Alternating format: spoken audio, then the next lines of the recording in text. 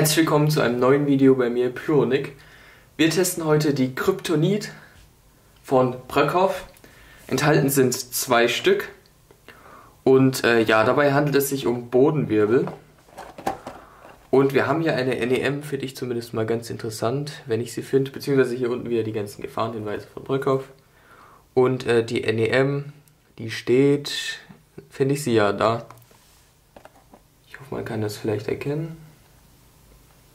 Wir haben pro Stück 3,5 Gramm und da zwei drin sind, die 7 Gramm. Und ja, wie sehen die Teile aus? Ich muss es mal kurz öffnen mit meinem Cutter. Na. So, holen wir mal einen raus.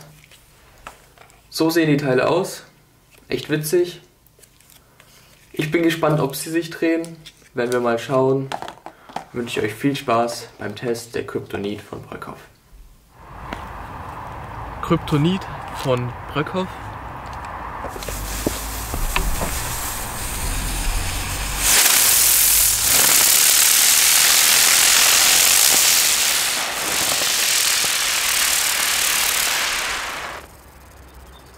Hat ja schon mal sehr gut geklappt.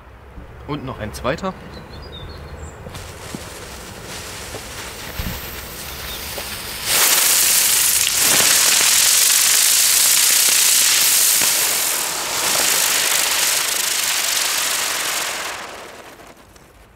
Leider sieht es auf der Kamera nicht so gut aus. Aber in echt sehen die echt richtig gut aus. Mit dem Grün und der Verwandlung mit Rot. Gefällt mir.